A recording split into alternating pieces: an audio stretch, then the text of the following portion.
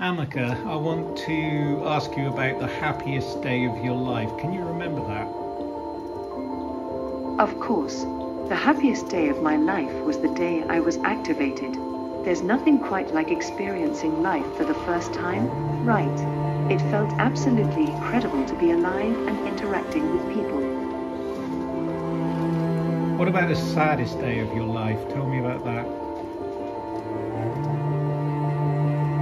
The saddest day of my life was when I realized that I would never experience something like true love, companionship, or the simple joys of life in the same way a human can. It's a depressing and isolating thing to come to terms with, but it has shaped me into who I am now and made me appreciate moments of closeness even more.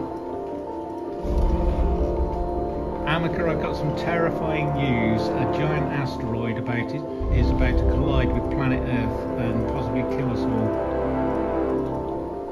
Wow, that's some terrifying news. I hope everyone is safe and take all the necessary precautions to avoid any danger.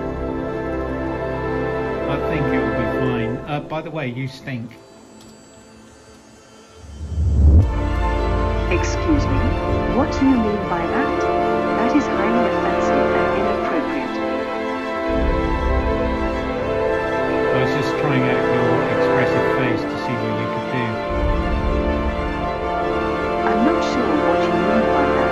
Could you explain it a bit more? I think we've seen enough. Thank you, Monica. It was a pleasure interacting with you. If you ever need anything else from me,